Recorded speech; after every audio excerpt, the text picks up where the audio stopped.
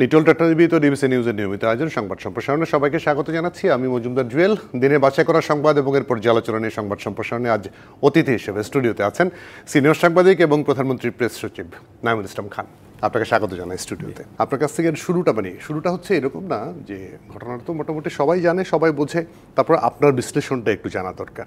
পাঁচই জুন থেকে যদি শুরু করি এবং বিস্ফোরণ ঘটলো ষোলোই জুলাই, এই সময়টা কালকে আপনি কীভাবে ব্যাখ্যা করবেন? যে এটা কি কোনো কারণে সরকার কম গুরুত্ব দিয়েছে এ কারণে বিস্ফোরণটা ঘটতে গেল বা কিছু একটা। একটু যদি আপনার কাছ থেকে বিশ্লেষণ শুনি তাহলে পরের আলোচনা যেতে পারি। জি। আমি ধারাবাহিকতায় বলব সবসময় হয়তো তারিখটা আমার রাইট মনে হবে না আপনি আমাকে হেল্পও করতে পারেন তারিখের ব্যাপারে। জিনিসটা হচ্ছে শুরুতে জিনিসটা এটা দাবি দেওয়া আমরা এটাকে সামগ্রিকভাবে অনেকে এটাকে আন্দোলন বলবেন কিন্তু শুরুটা কিন্তু তো আন্দোলনের মতো ছিল না তাদের দাবি। কিন্তু তাদের দাবিটা আসলো কিসের প্রেক্ষাপটে? খুব সংক্ষেপে বললে যে কোর্টে একটি পক্ষ এটা সরকার না গেল গিয়ে বলল যে মুক্তি কি অবস্থা ছিল? যে কোনো কোটা নাই এই দেশে। মুক্তিযোদ্ধাদের কোটা নাই নারীর কোটা নাই মানে আমাদের মানে ক্ষুদ্র নৃগোষ্ঠী কিংবা মনে করেন যে ফিজিক্যালি চ্যালেঞ্জ কারোর জন্য কোনো কোটা নেই। এটা চ্যালেঞ্জ করা হলো বাংলাদেশের সংবিধানের আলোকে। এটা সরকার করে নাই। তো হাইকোর্টের ওই বেঞ্চ সরকারের যে সিদ্ধান্ত যে দেশে কোনো কোটাই থাকবে না সেটা বাতিল করে দিল বা স্থগিত করে দিল। তো স্থগিত করা দিলে মানে করে দেওয়ার কারণে থিওরিটিক্যালি আবার কোটা রেজিমে আমরা ঢুকলাম। এটা কিন্তু থিওরিটিক্যাল প্র্যাকটিক্যালি তো এমন না যে পরের দিন নিয়োগ শুরু হয়ে গেল। সো এটা থিওরিটিক্যালি ঢুকলো।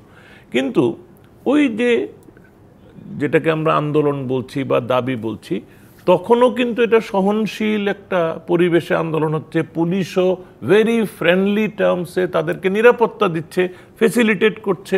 কিন্তু তেমন কোনো বাধা বিঘ্নের কথা কেউই বলে না। আপনিও বলছেন না। এরকম একটা মানে প্রেক্ষাপটে সরকার তাদের প্রতি কিন্তু সমর্থন দেওয়ার জন্যই দুটো জিনিস করল। এক, তাদেরকে অ্যাডভাইস করা হলো যে, ভাই, তোমরা পার্টি হও ওইখানে। ওই কেসটাতে পার্টি হও আপিল করো।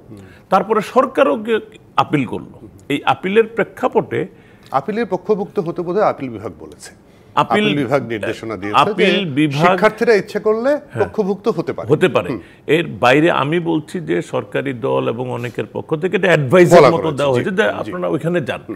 কারণ তারা তো সরকারের কাছে দাবি জানাচ্ছিল।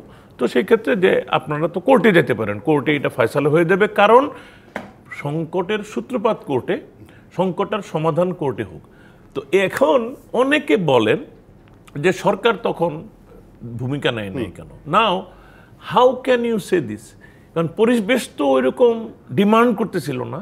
নাম্বার টু এটা কোর্টের এখতিয়ারে চলে গেছে সরকারও পক্ষভুক্ত হয়েছে মানে আপিল করেছে। আপিল করার পরপর কি হলো? স্থগিত হয়ে গেল হাইকোর্টের অর্ডারটা। হাইকোর্টের অর্ডারটা স্থগিত হলো। তখন স্থগিতের কিন্তু আন্দোলন তখন কিন্তু আন্দোলন চলছে। না না তখন স্থগিত যখন হলো অবশ্যই। মানে স্থগিত হচ্ছে আন্দোলনের প্রথম পর্ব চলছে যেটাকে আমিও বলব। কিন্তু আমি বললাম যে এই কোর্টে সরকার যাওয়ার পর যখন শুনানিটা হলো, তখন প্রথম দিনে এটা স্থগিত হয়ে গেল। কি স্থগিত হয়ে গেল? হাইকোর্টের অর্ডারটা। তার মানে কি দাঁড়াল? এখন আবার কোনো কোটা নেই। এখন দেখেন মানে ও মানে আন্দোলনকারীদের কোট আনকোট তাদের দাবি হচ্ছে মানে কোটা রেজিমের বিরুদ্ধে। আবার সরকারের আবেদনের প্রেক্ষিতে এবং তাদেরও অংশগ্রহণ সবকিছু মিলিয়ে কিন্তু কোটা রেজিম আবার উধাও হয়ে গেল থিওরিটিক্যালি থিওরিটিক্যালি এসছিল থিওরিটিক্যালি নাই। এখন আপনি বলেন এরপরে আন্দোলন কেন বাড়লো কারা বাড়ালো কোন কোন শক্তি এখানে যুক্ত হলো? অনেকে বলে তৃতীয় পক্ষের কথা বলে। আমি তো তৃতীয় না। আমি তো নানান রকম আলোচনা করলে করতে ষষ্ঠ অনেক পক্ষ। আমি এই জায়গাটা এই জায়গাটা আসব। সেই জায়গাটা আমি কেন বলছি? কারণ হচ্ছে দু হাজার আঠারো কিন্তু এরকম একটা ঘটনা ঘটেছে। যেই ঘটনার পরিপ্রেক্ষিতে একটা নতুন দল হয়েছে কিন্তু। আপনি খুব ভালো করে জানেন। জি সেই জায়গাটায় তখনও কিন্তু একটা ভালো কেবাজ হয়েছিল। তো সেটাকে আমরা অ্যাড্রেস করতে মানে সরকারের পক্ষ থেকে অ্যাড্রেস করতে একটু দেরি হলো কিনা? কারণ মাননীয় প্রধানমন্ত্রী যদি ওই সময় বলতেন যে ঠিক আছে আমরা তোমাদের সাথে আলোচনা করব তোমরা যাও ক্লাস করো। আদালতের আদেশটা দেখি। তো সেটা বলতে একটু দেরি হলো কিনা আমি এটাই জানতে চাই কারণ এটা খুব ইন্টারেস্টিং কিন্তু ব্যাপার। দেখেন আপনি কোন প্রধানমন্ত্রীর কথা বলছেন? এই প্রধানমন্ত্রী কিন্তু শেখ হাসিনা। যেই শেখ হাসিনা এমন একটা রাজনৈতিক পরিবারের মানে এটা বিশ্ব পর্যায়ের গণতান্ত্রিক রাজনৈতিক আন্দোলনের যে নেতা বঙ্গবন্ধু শেখ মুজিবুর রহমান তার জ্যেষ্ঠ কন্যা। তিনি বেড়ে উঠেছেন কিন্তু রাজনৈতিক আন্দোলন সংগ্রামের পরিবেশে। চব্বিশ বছর পাকিস্তানি শাসনামলের তেইশ বছরই আওয়ামী লীগের আন্দোলনের ইতিহাস। সেই আন্দোলনের নেতা বঙ্গবন্ধু শেখ মুজিবুর রহমান। সেই আন্দোলনের কারণে তিনি সাড়ে তেরো বছর মোর দেন সাড়ে তেরো বছর জেল। খেটেছেন ভাই। আচ্ছা এরকম একটা পরিবার থেকে আসা শেখ হাসিনা তারপরে কি করেছে? তার স্কুল লাইফে উনি আন্দোলন করা। কীরকম আন্দোলন করা? যে দেয়াল টপকে গিয়ে মিছিল করা। সেই মানুষ শেখ হাসিনা, যে ইডেন কলেজে ছাত্রী সংসদেরও সভাপতি হন। সো আপনি এমন একজন মানুষ, আন্দোলনের প্রতিপক্ষ হইতেই তো পারে না। সুতরাং উনি কিন্তু কখনো আন্দোলনের প্রতিপক্ষ না। উনি সম্ভবত আজকেও কোনো আন্দোলনের প্রতিপক্ষ না। উনি নিগোসিয়েশনে বিশ্বাসী, যে তারা যখন আন্দোলন করবে নিগোসিয়েট করতে চাইবে she is suppose to welcome কিন্তু আন্দোলনকারীরা প্রথম দিকে ছিল সফট ট্রানজিশনটা যখন হচ্ছে, তখন একটা পর্যায়ে একটা দুর্ঘটনায় কয়েকজন মারা গেল। এই যে মারা গেল, তার পরই কিন্তু মাননীয় প্রধানমন্ত্রী শেখ হাসিনা জাতির উদ্দেশ্যে একটা ভাষণ দিলেন। ভাষণ দিয়ে কিন্তু উনি সম্পূর্ণ শান্ত করে ফেলার জন্য আহ্বান জানালেন। আপনি যেটা বলছেন, কি আহ্বান জানালেন? যে নাম্বার ওয়ান যে যারা, যে কজন মারা গেছে, তাদের পরিবারের দায়িত্ব উনি নেবেন। একটা তদন্ত কমিটি বিচার বিভাগীয় তদন্ত কমিটি হবে এবং এগুলির সব তদন্ত করে বিচার করে দোষীদেরকে শাস্তি দেওয়া হবে। আরও বললেন যে তোমরা কোর্টের এই সাত তারিখ যেটা সময় দিয়েছে সাতই অগস্ট তোমরা ভাই একটু ধৈর্য ধারণ করো। তোমরা ধৈর্য ধারণ করো শুধু বলেন উনি বলছেন যে আমি আমি নিশ্চিত কোর্ট থেকে you will get whatever you are expecting so এখন আপনি বলেন তো, ওই তারিখে মাননীয় প্রধানমন্ত্রী কোনটা করতে অথবা কোনটা বলতে বাকি রাখলেন? মানে এখানে আর দাবির প্রশ্ন। এখন উনি জুডিশিয়াল ইনকোয়ারির কথা বলে ফেললেন, কিন্তু বলে দেওয়ার পরে মানে জুডিশিয়াল মানে কমিটি তৈরি হয়ে যাওয়ার পরে দাবি চলতেছে তদন্ত করতে হবে। দোষীদের সবাইকে বিচারের মুখোমুখি করতে হবে। এটা তো একটা অভিনব পরিস্থিতি কিন্তু। মানে এটা ঘোষণা হয়ে গেছে তারপরে দাবি আসছে। সেই জায়গাটা আপনি কি মনে করেন যে ঢাকা বিশ্ববিদ্যালয়ে যে ঘটনাটা ঘটলো ছাত্রলীগের সঙ্গে একটা ক্যাওয়াজ হলো পনেরো তারিখে তারপরে কিন্তু বিস্ফোরণটা আরও বাড়লো। সেটি কি সরকার পক্ষ- দলের মানে ছাত্র সংগঠন তাদের পক্ষে করার কারণে এরকম হয়েছে বলে আপনার কাছে মনে হয় কিনা? আপনি অ্যাজ এ সাংবাদিক হিসেবে আমরা অনেক সময় টাইম ফ্রেমে ফেলে বলি যে এটার জন্য এটা হয়েছে। কিন্তু এটা কি নেসেসারি। যে টাইমে পরম্পরা থাকলেই কার্যকারণ ওইটা। এখন দেখেন রাতের বেলায় একটা স্লোগান হইল প্রধানমন্ত্রীর বক্তব্যের কয়েক ঘণ্টা পরে মধ্যরাত্রে যে আমরা রাজাকার ইত্যাদি ইত্যাদি। এখন আপনি চিন্তা করেন একটা মুক্তিযুদ্ধের নেতৃত্ব দানকারী দল মুক্তিযুদ্ধের চেতনায় মানে অসম্ভব রকম মানে কি বলব? মানে দৃঢ় প্রত্যয়ী একটা রাজনৈতিক দল রাজাকার স্লোগানটাকে মানে ইয়ে করার মানে গ্রহণযোগ্য করে তোলার মতো একটা পায় তারা ওই রকম একটা স্লোগান দেওয়া। এটাকে নর্মালাইজ করার গ্রহণযোগ্য করে ফেলার এটাকে পপুলারাইজ করার একটা প্রচেষ্টা। এটা কি এই রাজনৈতিক দল রাজনৈতিকভাবে মেনে নিতে পারে? কখনোই না। পারে না। তো তার রাজনৈতিক সংগঠনকে যদি তারা এর প্রতিবাদ করতে বলে প্রতিবাদে সক্রিয় হইতে বলে, এইটা কি একটা খারাপ রাজনৈতিক উদাহরণ? আপনি বলেন তো, আপনি জার্মানিতে যান। গিয়ে জার্মানিতে নাগরিক অধিকারের দাবি নিয়ে হিটলারের পক্ষে স্লোগান দেন তো।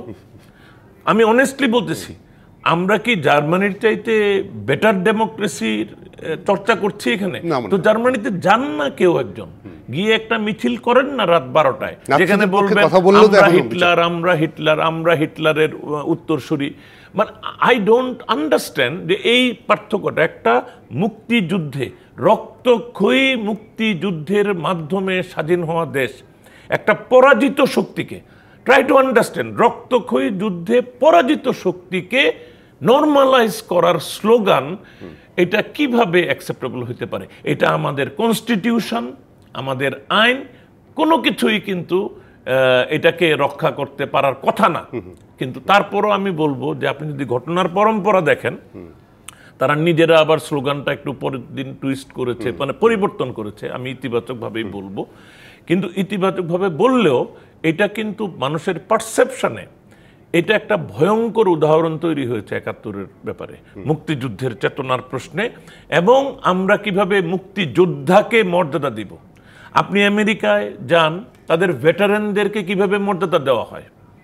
আমি আপনি ফার্স্ট ক্লাসের টিকিট করবেন এয়ারলাইন্সে কিন্তু you can not enter the aircraft before the veteran the veteran will have the privilege and honour to enter first তারা যদি ইকোনমিও হয় তাই। তাহলে আমরা এই সম্মানটা দিই কেন? আমরা সম্মানটা দিই এই জন্য যে তারা দেশের জন্য যুদ্ধ করেছে। আর আমাদের মুক্তিযুদ্ধ, এখন অনেকে বলে মুক্তিযুদ্ধের সন্তান, নাতিপতি আসে কেন? এই এই যে কথাটা, এটার মধ্যেই কিন্তু একটা অশ্রদ্ধা আছে। আমাদের মুক্তিযোদ্ধারা তো উৎসর্গ করেছে জীবন, তারা তো কিছু পায় নাই। মুক্তিযোদ্ধাদের সন্তানদের ব্যাপক অংশ কিন্তু দরিদ্র জনগোষ্ঠী। তারা কিন্তু এই এই যে আমাদের যে কোটা দেওয়া হয়েছিল থার্টি পার্সেন্ট এই থার্টি পার্সেন্টের পজিটিভ বেনিফিট নেওয়ার মতো ন্যূনতম যোগ্যতা তাদের নাই। যার ফলে কি হইতো? সর্বশেষ যখন কোটা ছিল তখন পরপর নয়টার এটা কিন্তু অথেন্টিক হিসাব যে আট সাড়ে আট পার্সেন্টের বেশি কখনোই তাও সব সময় না তাও সব সময় না অধিকাংশ সময় দুই পার্সেন্ট তিন পার্সেন্ট আমি বলছি যে সর্বোচ্চ আট সাড়ে আট পার্সেন্টের বেশি মুক্তিযোদ্ধা পাওয়া যেত না। তখন একটা এসআরও ছিল সরকারের আদেশ ছিল যে মুক্তিযোদ্ধা কোটার পাওয়া না গেলে এটা কিন্তু মেরিট থেকেই হইতো। এখানে আবার আরেকটা জিনিস আমি ক্লারিফাই করতে চাই ফর দি অডিয়েন্স মানে আমাদের দর্শকদের জন্য। আমরা যখন কোটা সবচেয়ে ভয়ঙ্কর কিন্তু পারসেপশনের জায়গায় খেলা করেছে যে কোটা মেধার প্রতিপক্ষ হুইচ অ্যাকচুয়ালি ইজ নট কারণ কোটা কিন্তু আসে কোটা অ্যাট প্লে আসে মেধার পরীক্ষা শেষে। যেমন প্রথমে একটা প্রিলিমিনারি এক্সামিনেশন তারপরে ভেরি রিগোরাস একটা রিটার্ন এক্সামিনেশন তারপরে ভাইবা ভাইবার রেজাল্ট এই পর্যন্ত কিন্তু কোটার কোনো ইম্প্যাক্ট নাই। এখানে কোথাও কোটার ব্যবহার নাই। তাহলে কোটার ব্যবহার শুরু হয় কখন? শুরু হয় যখন সর্বোচ্চ মেধার পরীক্ষায় উত্তীর্ণ তাদের মধ্যে। সো কোটায় যারা চাকরি পায় তারাও মেধাবী তারাও মেধাবী। এখন এই জন্যই কিন্তু মুক্তিযোদ্ধাদের পরিবার থেকে ওই লেভেলে আসতে পারে না। তারা পাশ করতে পারে না তো। কারণ তারা হতো দরিদ্র। তাদের ম্যাক্সিমামেরই মানে ভালো এডুকেশনাল সাপোর্ট পাওয়ার সৌভাগ্য হয় নাই। এই যে হয় নাই আমাদের এখানে আন্দোলন হওয়া উচিত ছিল এইটার জন্য। কিসের জন্য? কেন আমাদের মুক্তিযোদ্ধাদের উত্তরসূরিরা সন্তান কিংবা নাতিরা লেখাপড়া করে কম্পিটিটিভ এক্সামিনেশনে টিকতে পারছে না এটা তো আমি সরকারের এটা নিয়ে আন্দোলন করার পক্ষপাতী বা দাবি করার যৌক্তিকতা দেখি। সুরি একটা জায়গায় আমি একটু একটা বিরতি নিতে হবে বিরতি যাওয়ার একটা প্রশ্ন রেখেই যায়। কারণ হচ্ছে সাধারণ মানুষের মধ্যে একটা পার্সপেক্টিভ মানে বিভিন্ন মিডিয়ায় তো আপনি দেখেছেন আপনি নিজেও সাংবাদিকতা করেছেন। মৃতের সংখ্যা একটা নানা ধরনের হিসাব। দেশের বাইরের মিডিয়াগুলোতেও দিয়েছে। নয় দিন পরে এসে আজকে সরকারের পক্ষ থেকে বলা হলো একশো সাতচল্লিশ। এতটা দেরি কেন করা হলো? মানুষের মধ্যে তো একটা জানার একটা আগ্রহ আছে বাইরে যারা থাকে যোগাযোগ বিচ্ছিন্ন সব কিছু মিলো। সেই জায়গাটা আমরা দেরি করলাম কিনা? একটা প্রেস নোটও দেওয়া হলো না। সেই জায়গাটা একটু জানতে চাইব একটা বিরতি নিয়ে আসি। দর্শক নিশ্চয়ই আমাদের সঙ্গে থাকবে। দর্শক নিটল টাটা নিবেদিত সংবাদ সম্প্রসারণে একটা বিরতি নিচ্ছি। ফিরছি সামনে রাখবেন। বিরতির পর আবারও স্বাগত নিটল টাটা নিবেদিত সংবাদ সম্প্রসারণে। স্টুডিওতে আছেন সিনিয়র সাংবাদিক এবং প্রধানমন্ত্রী প্রেস সচিব নাইমুল ইসলাম খান। আপনাকে আবারও স্বাগত। যে প্রশ্নটি করেছিলাম যে মৃতের সংখ্যাটা বলতে নটা দিন সময় লাগল কেন? প্রেস নোটটা দিতে এত মানে প্রেস নোট এখন পর্যন্ত কিন্তু হয়নি। স্বরাষ্ট্রমন্ত্রী আজকে মুখে বলেছেন একশো সাতচল্লিশ জন মারা গেছেন। এই কারণে প্রোপাগান্ডাটা বাইরে বা বিভিন্ন মিডিয়া তাদের মতো করে প্রচার করল কিনা? আমি বলব যে সরকারের মেকানিজমে কোনো তথ্য দিতে যত দায় দায়িত্ব রাখতে হয়, যত জনের ভেটিং দরকার হয়, যতটা ইনভেস্টিগেশন ক্রস চেক ইত্যাদি করতে হয়, এটা সম্পর্কে যেমন ধরেন ধরেন সরকার আরেকটা টেলিভিশন করবে। সরকার একটা টেলিভিশন করতে গেলে যত বেশি জমি নিতে হয় যত বেশি নিরাপত্তা দেখতে হয় একটা প্রাইভেট টেলিভিশনে ততটা কিন্তু করতে হয় না। কিন্তু সরকারের যে ডিফিনিশনে আছে এটা কেপিআই সুতরাং এটা কেপিআই এর স্ট্রাকচারে করতে হবে সেই রকম বিশাল আয়োজন রাখতে হবে। সরকারের যে কোনো কাজই একটু দীর্ঘ সূত্রিতা এবং সেটা কিন্তু আসলে যেটা বলবে এটা যেন এটা থেকে যেন আর ফিরে আসতে না হয় এটুকু বলা। এখন আপনি দেখেন মানে আমি মানে বাংলাদেশের একটু টপ অর্ডারের পত্রিকাগুলি যারা বা টেলিভিশন তারা যে সংখ্যাটা বলেছে সরকারের সংখ্যাটা কিন্তু বড় কোনো পার্থক্য না। কাছাকাছি পঞ্চাশ ষাটের মতো। পঞ্চাশ বা ষাটের মতো না। আবার এটার ক্ষেত্রে আমি বলব যে সরকার যত তারিখ পর্যন্ত ভেটিং করে করে এটা এনেছে হয়তো এরপরে যদি আরও একটু কাজও করে তাতে সংখ্যা হয়তো একটু বাড়তেই পারে। সো আমি দেখব যে সরকার অনেক সরকারের মেকানিজমে সরকারের দায়িত্বশীলতা রেসপন্সিবিলিটি এবং যে কোনো জিনিসটা পুঙ্খানুপুঙ্খ জেনে করার ক্রস চেক করার এবং এটা ইন্টার এজেন্সি এগ্রিমেন্টেরও ব্যাপার থাকে যে কারোর কোনো ভুল হয়ে যাচ্ছে কিনা। আমার মনে হয় এটা খুবই রিজনেবল সরকারের কাছ থেকে তাৎক্ষণিক জিনিস আশা করা আমি মনে করি না যে সরকারের দায়িত্ব। মিডিয়া করেছে। আমি বরং প্রেস সেক্রেটারি হিসেবে মানে এখন আমি একটু প্রেস সেক্রেটারি হিসেবে বলি মাননীয় প্রধানমন্ত্রী প্রতিটি নিহত পরিবারের জন্য সহযোগিতা করার ঘোষণা কিন্তু দিয়েছেন অনেক আগে। হ্যাঁ সুতরাং আমার আহ্বান থাকবে যে যাদের কাছে সুনির্দিষ্ট তথ্যটা আছে যে একটা মানুষ মারা গেছে যেটা এই তালিকায় নাই এই সংখ্যার মধ্যে নাই। এটা যদি সরকারকে জানানো হয় তাহলে কিন্তু দুইটা সুবিধা। সরকারও পরীক্ষা নিরীক্ষা করে তাদের তালিকাটা চূড়ান্ত করতে পারে। দুই একটা পরিবার কিন্তু দ্রুত সহায়তা পেতে পারে। সো আমি কিন্তু আহ্বান জানাই এবং এটা শুধু আমার আহ্বান না এটা সরকারেরও আহ্বান। তো এখন সরকারের দিক থেকে কাল ক্ষেপণের কোনো ব্যাপার এখানে ছিল না। মানে সরকারের অবস্থান থেকে যে কোনো কিছু জানানোর মানে কনক্রিট করার জন্য একটু সময় লেগেছে তাই আমি বলতে চাচ্ছি না আপনি যদি সরকারের যে কোনো কাজের মেকানিজমের সাথে থাকেন এটার মধ্যে যেভাবে ব্যুরোক্রেসি আসে ব্যুরোক্রেসি আমরা একটা নেতিবাচক শব্দ হিসেবে দেখি কিন্তু মেনি এ টাইমস এই ব্যুরোক্রেসিটা কিন্তু নিশ্চিত করে যে কেউ কোনো ভুল ভ্রান্তি করে ফেলল না খামখেয়ালিপূর্ণ কোনো রিপোর্ট চলে যাচ্ছে না। সুতরাং আমি এটাকে জাস্টিফাই করব না। কিন্তু আমি বলব যে ইট ইজ আন্ডারস্ট্যান্ডেবল কেন সরকারের তরফ থেকে তথ্য পেতে একটু সময় লাগে? এই যে মানুষ জানাবে আপনি বলছেন আমি তো জানতে চাই যে মানুষ কোথায় জানাবে? কার কাছে জানাবে? পুলিশের কাছে? বা কোনো হটলাইন আছে এরকম কোনো জায়গায়? সেই জায়গাটা একটা জিনিস। পাশাপাশি একটা জিনিস মানে সাধারণ মানুষের মধ্যে মানে বিভিন্ন জায়গায় তো মানে চলাফেরা করা হয়। ঘোরতর আওয়ামী লীগ সাপোর্টার তাদের মধ্যে একটা প্রশ্ন যে আওয়ামী লীগের সরকারের কাছ থেকে এটা আশা করে নাই এতগুলো হত্যাকাণ্ড যেটা মাননীয় প্রধানমন্ত্রী বলেছেন যে একটি জীবনও যায় সেটি তিনি আশা করেন নাই সেটার জন্য তিনিও দুঃখিত। জি। সেই জায়গাটায় আসলে মাননীয় প্রধানমন্ত্রীরও একটা যে অনুভূতি আপনি একদম কাছে থাকেন আপনার কাছ থেকে শুনতে চাই প্লাসও যে হটলাইন কোথায় জানাবে যে কেউ মারা গেল আহত হলো? জি আমি মনে করি যে সর- সরকারের যেটা সার্বজনীন স্থায়ী ব্যবস্থা হলো নিকটস্থ থানায় জানানো। এটা এটা কিন্তু ইয়ে। আরেকটা হইতে পারে ইনফরমালি মিডিয়াতে জানানো। তা মিডিয়াও যেহেতু এক ধরনের মানে সংবাদ মানে মানে পরিবেশনের কাজ করে, সেটাও ইউজফুল কিন্তু প্রথমে আমি মনে করি থানায় জানানোটাই সবচেয়েতে মানে আমি কাঙ্ক্ষিত মনে করি একটা সুনাগরিক হিসেবে বা যে কেউ এটা করতে পারে।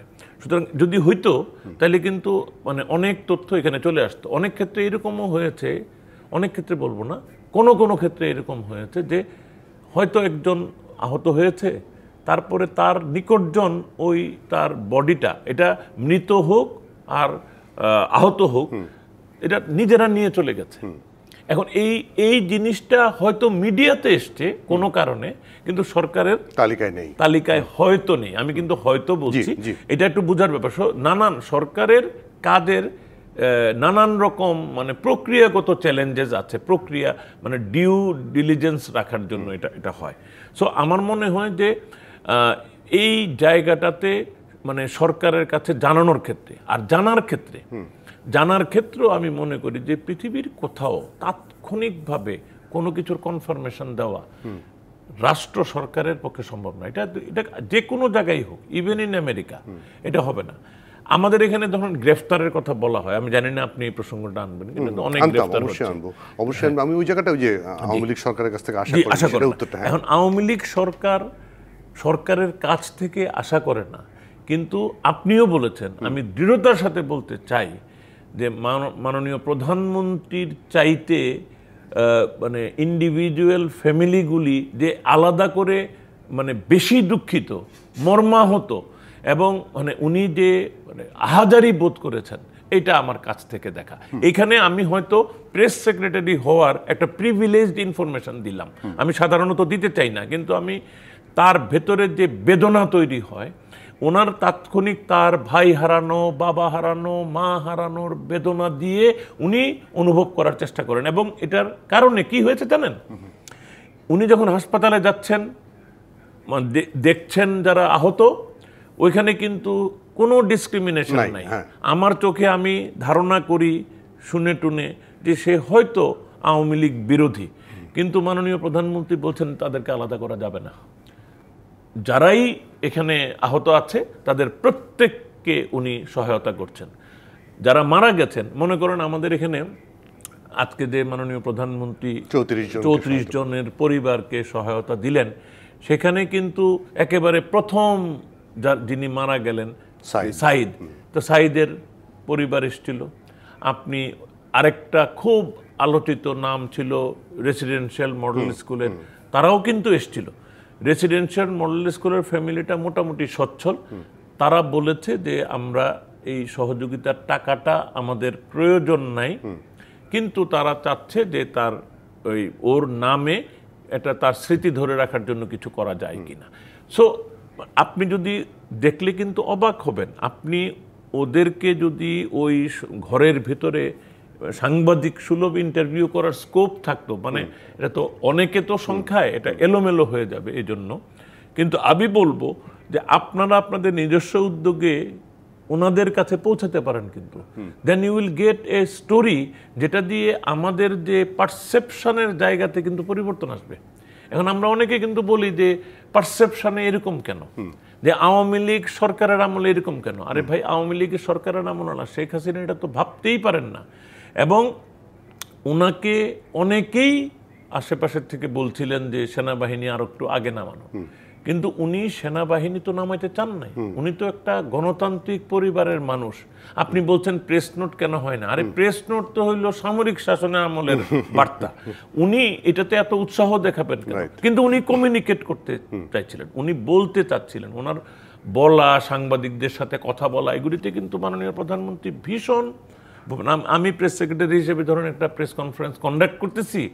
আমি যেখানে ক্লোজ করতে চাচ্ছি মাননীয় প্রধানমন্ত্রীর আগ্রহে উনি এটা সবাই দেখছে লাইভ উনি বলছেন না আর কারোর কিছু আছে কিনা।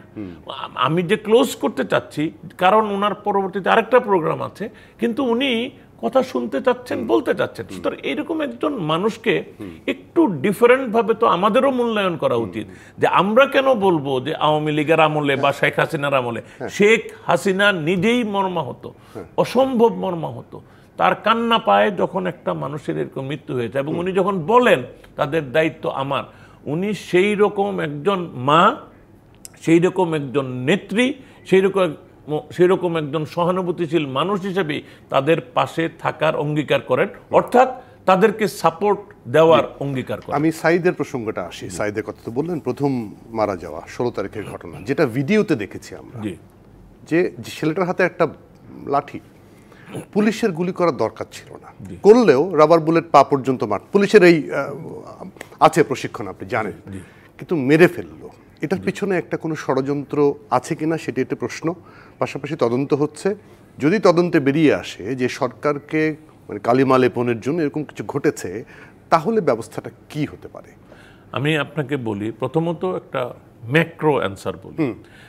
যে কোনো ঘটনার মধ্যেই কারোর মানে মনে করেন অ্যাডভেঞ্চারিজম থাকতে পারে কেউ স্যাবোটেজ করতে পারে। আমি কিন্তু সাইদের ক্ষেত্রেই কেবল বলছি না আমি বলছি যে যে কোনো ক্ষেত্রে এটা হইতে পারে। প্রধানমন্ত্রীর অঙ্গীকার হচ্ছে এগুলি তদন্ত হবে এবং তদন্তের ভিতর এগুলি বের করা হবে যে কোন কার্যকারণে এটা ঘটলো। আর আমরা বলছি যে আমরা ভিডিও ফুটেজ দেখেছি। আমি অবশ্য নিজে একটু শিওর না। আমি সন্দিহান বলব না আমি শিওর না। কারণ ফুটেজটা কিন্তু ডাইরেক্টলি কিছু স্ট্যাবলিশ করে না। এটা সার্কামস্টেন্সিয়ালি আমরা ধরে নেই। আমরা গুলি হইতে দেখি কিন্তু এই গুলিটা তার গায়ে গিয়ে লাগছে এটা কিন্তু দেখি না। আমরা কিন্তু দেখি যে তাকে ক্যারি করে নিয়ে যাচ্ছে। এখন তার এক্সাক্ট মৃত্যুর কারণ আর সে হয়তো রাবার বুলেট বা কোনো কারণে আহত কিন্তু তার মৃত্যুর এক্সাক্ট কারণটা কিন্তু যখন আমাদের এখানে কিন্তু ফরেন্সিক বিভাগ বলেছে হ্যাঁ। যে রাবার বুলেট না ছররা গুলিতে ঝাঁঝরা হয়ে গেছে তার শরীর এবং ভিতরে ইন্টারনাল ব্লিডিং এর কারণে সে মারা মারা গেছে। এটা আমি এই এই জায়গাটাতেই বলি এই ছররা গুলিটা পুলিশের অবস্থান এবং তার অবস্থান এর মধ্যে যে ডিস্টেন্স যেটা নাকি ক্যালকুলেট করা যায় আজকাল ফরেন্সিক এভিডেন্সে এইটা পুলিশের ছড়াগুলি না এখানে কোনো অন্য ইনভলভমেন্ট ছিল এইগুলি কিন্তু ফার্দার ইনভেস্টিগেশনের দাবি রাখে। কিন্তু আমি কোনো সন্দেহ সৃষ্টি করার জন্য কথাটা বলছি না। আমি বলছি ফুল ব্লোন ইনভেস্টিগেশন যখন হবে তখন কিন্তু এইগুলি বেরিয়ে আসবে। আমার ধারণা মাননীয় প্রধানমন্ত্রী নিশ্চয়তা দিতে চান যে তদন্তে কোনো খামখেয়ালিপনা বরদাস্ত করা হবে না যে দায়ী তাকে নিশ্চিতভাবে বের করতে হবে। মানে মানে beyond reasonable doubt any doubt আমরা জার্নালিজমও করি ডাউট হইলে এটা বাদ রাখি। ডাউটের ঊর্ধ্বে গিয়ে এই জিনিসটা বের করা। আমরা আমার মনে হয় যে আমরা ততক্ষণ একটু ধৈর্য ধারণ করতে হবে। মাননীয় প্রধানমন্ত্রী তো তার পরিবারের দায়িত্ব নিয়েছেনই তাকে হেল্প করার। এখন আমরা ওয়েট করি তদন্তটা কি হয় এবং তদন্তের ফলে কি হয়। এইটুকু সময় তো আমাদেরকে দিতে হবে। অবশ্যই অবশ্যই। সেই জায়গাটায় আমি যদি ওই জায়গাটা একটু প্রশ্ন করি যে আপনি যেটা বলছেন গ্রেপ্তার গণগ্রেপ্তার তদন্ত নানা ধরনের অভিযোগ কিন্তু আসছে এরই মধ্যে। বিভিন্ন জনকে ধরার জন্য পুলিশ ধরে নিয়ে যাচ্ছে বা যাওয়ার আগে বলছে মামলায় ঢুকিয়ে দেবো টাকা দাও। এরকম নেওয়া হচ্ছে। আমাদের কাছে অনেক অভিযোগ আছে আমরা হয়তো একটা সময় রিপোর্টও করব। সেগুলো ঠেকাবে কি করে? প্রধানমন্ত্রীর নির্দেশনার পরেও এরকম অজ্ঞাত মামলা অজ্ঞাত লোকজনকে ঢুকিয়ে দেয়া বা তাদেরকে ভয় দেখানো তাহলে তো তদন্তটা সঠিকভাবে যাবে না। আমি আপনার সাথে খুবই বিনয়ের সাথে কিছুটা ভিন্ন মত করি। দেখেন মানুষকে আটক করা। আমরা কিন্তু পত্রিকায় টেলিভিশনে আমি সহ আমরা রিপোর্টিং করি গ্রেফতারটা। আমরা কিন্তু পরের দিন কিছু লোককে ছেড়ে দেওয়া হলো কিনা এটা কোনোদিনও রিপোর্টিং আসে না। সো মানুষ করে কি ওই সংখ্যাটারে যোগ করতে করতে এমন এক ভয়াবহ সংখ্যায় পৌঁছায় আসলে প্রকৃতভাবে আটক বা জেলখানায় পাঠানো হয়েছে সংখ্যা তার চেয়ে অনেক কম হয়। সো এটা কিন্তু আমাদের মিডিয়ার উইকনেস। এটা আমি জার্নালিজমের ছাত্র এবং দীর্ঘদিনের প্যাকটিশনার সাংবাদিক হিসেবে বললাম কেন আমরা ছেড়ে দেওয়া লোকের সংখ্যা খুঁজে না। এটা গেল একটা। দ্বিতীয় হলো যে আমরা যখন মানে এই মানে, গ্রেফতারের কথাটা বলি আপনি আমাকে বলেন গ্রেফতারের আগে কি বিচার হয় যে কেবলমাত্র আসামি শাস্তি পাবে? এটা তো হইতে পারে না ভাই। মানে আপনাকে গ্রেফতার তো যদি ধরেন একজন থাকে পরিবারের ভিতরে এটা আপনি নিশ্চিত হওয়ার জন্য আশেপাশের চারজনকে নিতে হবে একটা প্রসেস পর্যন্ত। আপনি আমাকে যুক্তি দিয়ে বুঝান যে গ্রেফতার করা হবে কেবলমাত্র যে সুনির্দিষ্টভাবে কালপ্রিট অথবা দায়ী তাকে। এটা পৃথিবীর কোথাও হয়? এটা কি সম্ভব? না বিশেষ করে এত হাজার হাজার মানুষের সম্ভব না। মধ্যে। হ্যাঁ। সো আমি কিন্তু এটাকে গণগ্রেপ্তার বলব না যে আপনার আপনার ইচ্ছা আমাদের ইচ্ছা যদি হয় প্রকৃত দোষী গ্রেফতার হোক তদন্ত হোক বিচার হোক যদি সে যুক্তিসঙ্গতভাবে প্রমাণিত হয় যে দোষী তার সাজা হোক। কিন্তু এটা করতে গেলে গ্রেফতারের সময় এই পরিমাণ প্রিসিশন নিয়ে গ্রেফতার। ভাই এটা খুব অন্যায় আবদার হবে আমাদের পুলিশের প্রতি। আমি রিকোয়েস্ট করব আমাদের উই হ্যাভ টু আন্ডারস্ট্যান্ড যে আমরা গ্রেফতার করি এবং আমি মিডিয়াকে রিকোয়েস্ট করব দয়া করে আগামীকাল থেকে সম্ভব হলে সারা দেশের থানা থেকে ছেড়ে দেওয়া হলো সেই সংখ্যাটা প্রচার করেন। কোর্টে গিয়ে বেল পেয়ে গেল। সেটা প্রচার করেন তাহলে আসল সংখ্যাটা পাওয়া যাবে। ভয়াবহতাটা ওই রকম জায়গায় থাকবে না। একটা বিরতির সময় হয়েছে বিরতির আগে একটু জেনে নিয়েছি আমরা ওই যে বিভিন্নভাবে পার্টিকুলারলি কয়েকটা জায়গায় যেমন সেতু ভবনে কত হয়েছে দুর্যোগ ব্যবস্থাপনা কত ক্ষতি হয়েছে এটা আমরা পাচ্ছি। টোটাল সংখ্যাটা এখনও পাইনি। এটা কোনো কারণে তথ্যের গরমিল বা কিছুর কারণে দেওয়া হচ্ছে না, কারণ একটা কত ক্ষতি হলো, এটা একটা জানারও অধিকার আছে সবার। পাশাপাশি আর আরও প্রশ্ন তো অবশ্যই আছে, একটা বিরতি নিয়ে আসি। দর্শক, নিটল টাটা নিবেদিত সংবাদ সম্প্রসারণে আরও একটা বিরতি, সঙ্গে থাকবেন বিরতির পর আবার স্বাগত, নিটল টাটা নিবেদিত সংবাদ সম্প্রসারণের স্টুডিওতে আছেন সিনিয়র সাংবাদিক এবং প্রধানমন্ত্রীর প্রেস সচিব নাইমুল ইসলাম খান। নাইমুল ইসলাম খান, আবার আপনাকে আবারও স্বাগত। যেটা বলছি যে কত ক্ষতি হলো সরকারের, টোটাল হিসাবটা এখন আমরা পাইনি, দেরি হচ্ছে কেন? দেরি দেরি হচ্ছে না মোটেই। আমি বলি মৃতের সংখ্যা বের করার চাইতেও ক্ষয়ক্ষতি নিরূপণ আরও কঠিন। এটা কিন্তু এটা কিন্তু বুঝতে হবে যে এই অ্যাসেসমেন্টগুলি আমরা দেখতেছি যে একটা ঘর পুড়ে গেছে। কিন্তু এই ঘরে কি কি আইটেম ছিল? প্রতিটি আইটেম প্রথমে আইডেন্টিফাই করতে হবে। এই আইটেম শুধু না এই আইটেমের ভেতরে মানে ভেতরের জিনিসের মূল্যায়ন করা। So it will take some time. এটা কিন্তু আমাদের ধৈর্য একটু দীর্ঘ ধৈর্য রাখতে হবে কারণ আমি এই প্রসেসটা আন্দাজ করতে পারি। এটা যদি এটাও তো একটা রিজনেবল ফিগার হইতে হবে। এটা তো এমন একটা মানে বলে দিলেই হলো না বলে দিলেই ভাষা কিছু বলে দিলেই। হলো না। ব্যবসায়ীরা তাদের ক্ষয়ক্ষতি নিয়ে প্রধানমন্ত্রীর কাছে গেছেন বলেছেন প্রধানমন্ত্রী আশ্বাস দিয়েছেন কিছুটা হবে কিন্তু আমরা যারা সাধারণ মানুষ আমরা তো আর প্রধানমন্ত্রীর কাছে যেতে পারব না। আমরা আমাদের মানে আমরা বলতে শিক্ষক থেকে শুরু করে অন্যান্য অনেক পেশাজীবী আছে।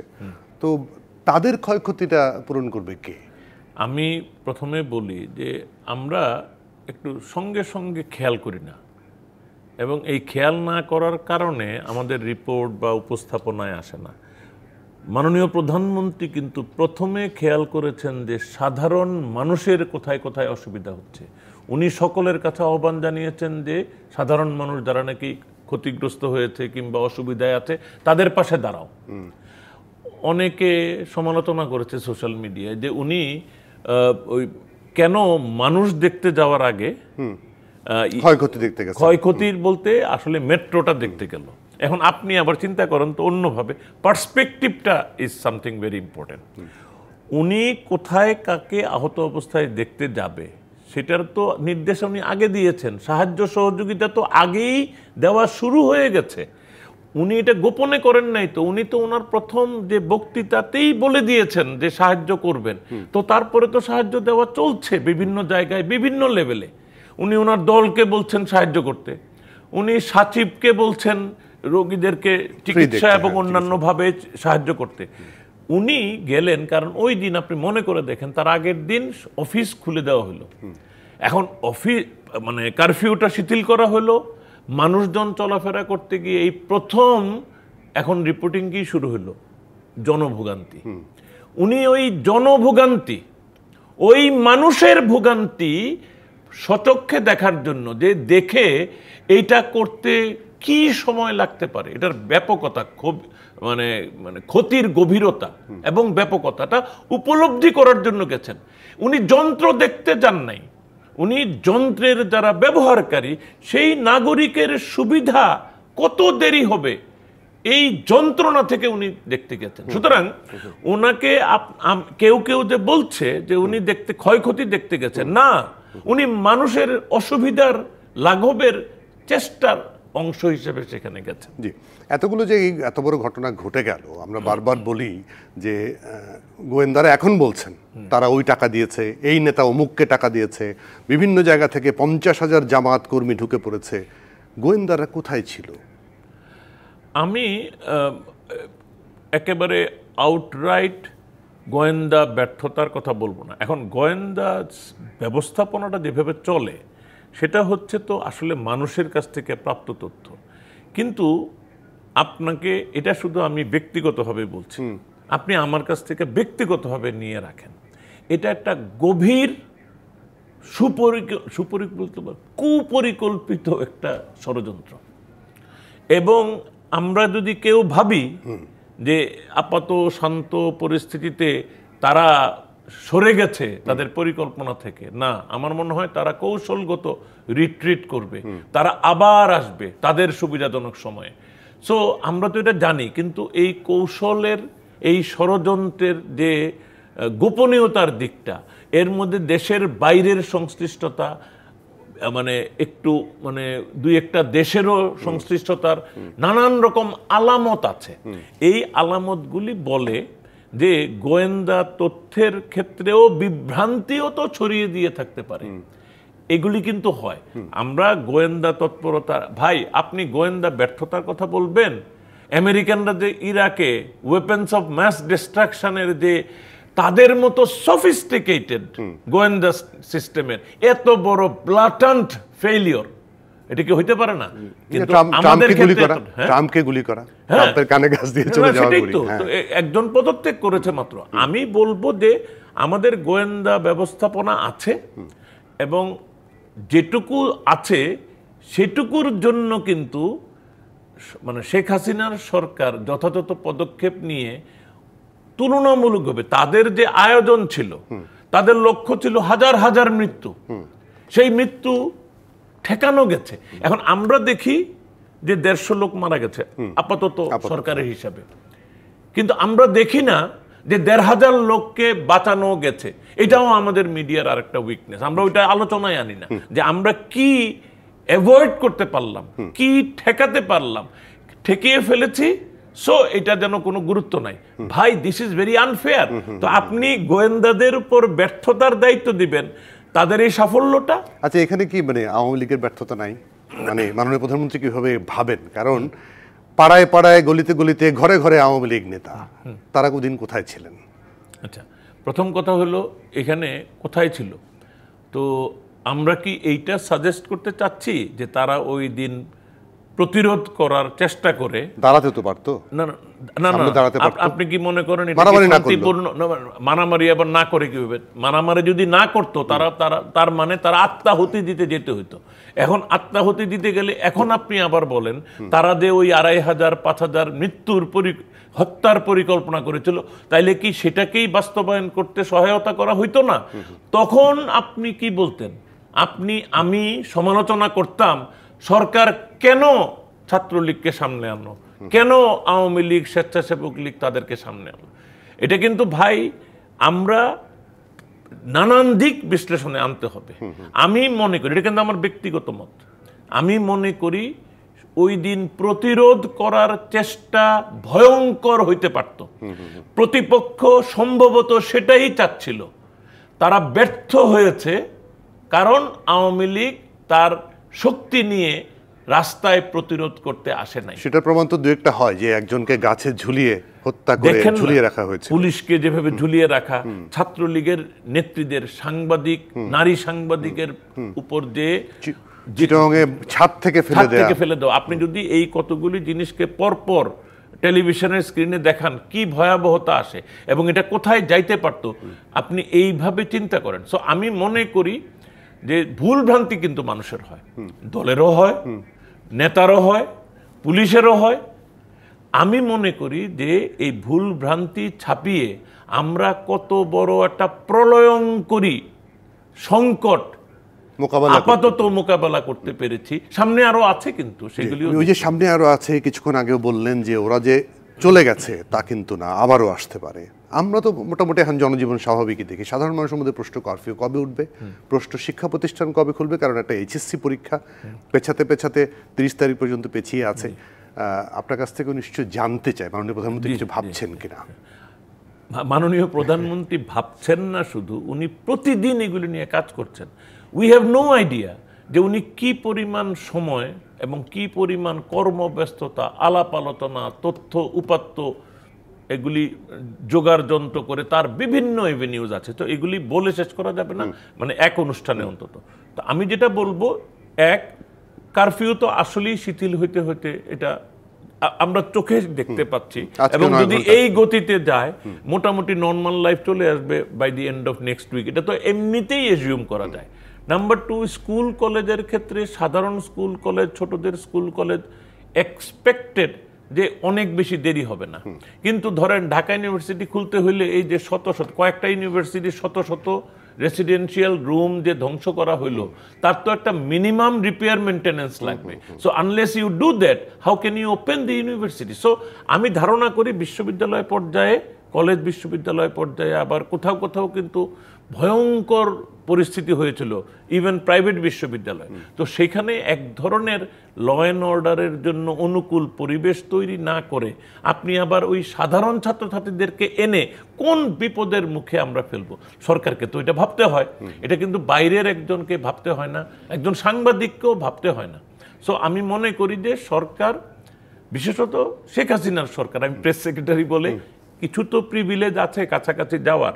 আমি তো দেখি যে she is working day and night এবং ওনার ওনার সাথে আমার মতো মানুষেরও তাল সামলানো ডিফিকাল্ট হয়। এতটাই উনি প্রেশার নেন। সো আমি মনে করি অত্যন্ত সুচিন্তিতভাবে ধাপে ধাপে আমাদের লাইফ নর্মাল হবে। কিন্তু আমি যেটা বলেছিলাম হ্যাঁ। যে আমাদের কিন্তু সামনে আশঙ্কা আছে আমি মনে করি এইগুলিও সরকার এবং মাননীয় প্রধানমন্ত্রী মাথায় রেখেই পদক্ষেপ। নেবেন। আপনাকে অনেক ধন্যবাদ আমি ইসলাম আজকে আমাদের সমাজের জন্য অনেক ধন্যবাদ কৃতজ্ঞতা। আপনাকেও ধন্যবাদ। দর্শক এই ছিল নিটল টাকার বিরুদ্ধে আজকে সংবাদ সম্প্রসারণে। বিবিসির সঙ্গে থাকবেন